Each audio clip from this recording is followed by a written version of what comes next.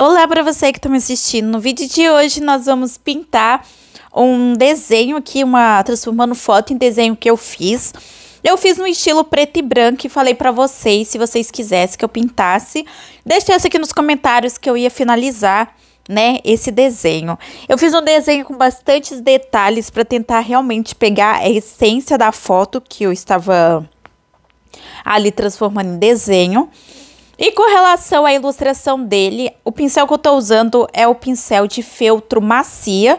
Então, não é um pincel que vem QR Code à parte, você encontra ele dentro do Ibis Paint. E as cores eu vou me inspirando dentro das cores que tem na própria foto. Eu vou fazer um tipo de ilustração mais simples, então eu vou fazer algumas sombras, mas nada assim, sabe, demais. E aí, gente, não tem segredo. Eu criei uma nova camada e coloquei por, por baixo da camada de esboço que eu criei, que eu fiz, para não passar por cima, né, da, da linha do traçado. É muito importante lembrar disso. E aqui com relação à pintura, eu faço, mesmo sendo assim pintura, eu faço tudo na mesma camada. Às vezes, quando eu vou pintar a pele, eu costumo criar uma nova camada e colocar por baixo, só para não ter essa questão. Ó, eu crio uma nova camada e ponho por baixo só para não ter que contornar o cabelo, fica muito mais fácil esse tipo de ilustração. Eu prefiro, é, de pintura, eu prefiro, pintar tudo. E aqui, como vocês podem ver, eu sempre fico muito em dúvida com relação à cor de pele. Então, com relação à cor de pele, eu acabei deixando, assim, a pele dele um pouco mais rosada, do jeito que tava. Mas sempre que eu eu vou pintar assim, eu fico muito em dúvida com relação à finalização, a cor da pele, porque eu pego um tom da pele da pessoa e dependendo de onde esse tom de pele é pega, ela não é tão fiel à cor de pele da pessoa, sabe? Que varia muito por causa de sombra, luz. Então, assim, é uma questão que eu ainda tenho aí. Aqui, gente, com relação a pintar, né? Eu tento fazer o mais certinho, assim, com relação a contorno. O caneta de feltro, eu falei aqui para vocês uma vez, mas eu volto a falar para vocês que ele é, tipo assim, um acabamento muito legal. Olha o acabamento dele, eu gosto. Então, eu gosto de usar o pincel de feltro macia justamente por causa disso. O pincel de feltro duro, ele é um pouco mais, com acabamento um pouco mais pixelado, então eu prefiro o macio. E, gente, eu ainda não terminei de assistir essa série. Eu, pra falar a verdade, eu assisti a série do Loki. E eu gostei muito da série do Loki. Apesar de ter reparado que a voz é diferente e o dublador mudou, né, gente? Eu gostava muito do dublador do Loki, da época ali dos Vingadores, mas parece que o dublador tá com alguns problemas pessoais. E aí ele não conseguiu fazer, né, o Loki da série. Mas é aquela coisa, a gente se acostuma. Com relação ao contexto, eu gostei muito. O primeiro episódio é muito legal, muito legal mesmo.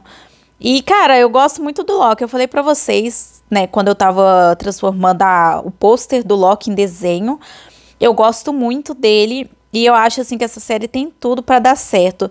E eu tava com saudade da Marvel, tá, gente? Nossa, eles vão aí lançar outro filme, né? Outra Outra vertente aí dos filmes que tem a tendência de virar.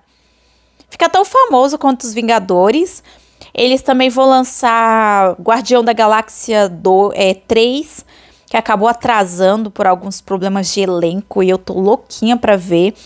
A Gamora, né, no final do Guardião da Galáxia, ela foge porque ela é a do passado, não lembra lá do, do cara lá que ela gostava a Nebulosa e o Thor acabou se juntando aos Guardiões da Galáxia. Então, tipo assim, eu acredito que vai ser muito legal.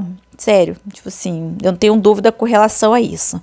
E aí tem essa série aqui que eu ainda não assisti ela, mas eu tô vendo bastante pessoas falando dela, né? E, e tá todo mundo gostando. Tem gente que fala que é fofa, tem gente que diz que é uma série emocionante. O diretor do filme do, da série é o mesmo diretor, é o Tony Stark, né, que fez o Tony Stark, o que chama muita atenção e é a primeira a primeiro trabalho dele assim como diretor.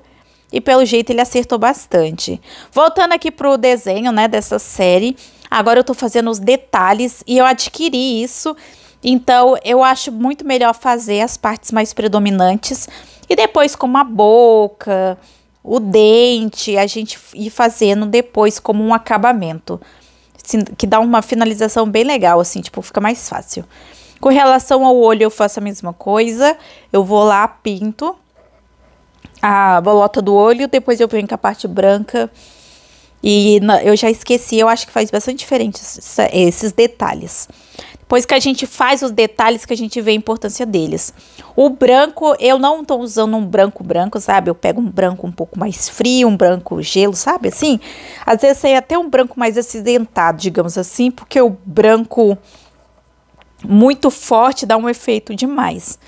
A sobrancelha dele é uma sobrancelha de uma criança, mas mesmo assim eu preenchi ali, mas é uma sobrancelha bem fina. E esse tipo de característica é muito bom a gente respeitar do desenho, porque essas características que moldam o rosto. Então, tentar fazer uma sobrancelha um pouco mais grossa e tirar a característica do rosto infantil, sabe? Eu vou juntando aí, ó, as camadas. E aí, numa nova camada, eu peguei o aerógrafo, peguei aí o marrom Criei uma nova camada e vinculei ela embaixo. Depois diminuí o pincel e fui criando aí umas sombras. Não sou exp em sombras, gente. Estou testando aí. Estou estudando outras coisas também que provavelmente vão melhorar essa minha noção de sombra, essa minha noção de manipulação de foto. E eu espero que isso realmente me ajude para eu trazer coisas aqui diferentes para vocês. Com relação ao rosto que eu falei para vocês, eu vou criar alguns sombreamentos. E ó, é um sombreamento, tá vendo? Ficou muito legal. No nariz eu também coloquei para dar uma uma sombra, né? E muda o contexto do rosto, ali ao redor do olho. E aí eu venho com o pincel de desfoque, aí eu desfoquei demais, então eu venho com o pincel de desfoque um pouco mais leve, só para dar aquela, aquele desfoque bem leve, sabe, gente? Assim, não dá um desfoque muito forte. E aí, com relação a isso, eu fui aí, gente, e salvei em PNG.